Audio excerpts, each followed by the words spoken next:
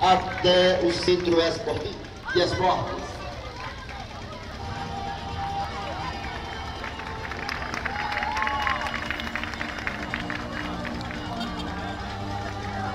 A tocha olímpica que representa o jogo olímpico, a união dos povos na grande globalização promovida pelo desporto, com as diversas modalidades esportivas que serão disputadas esta semana nos Jogos Escolares da em Conquistal.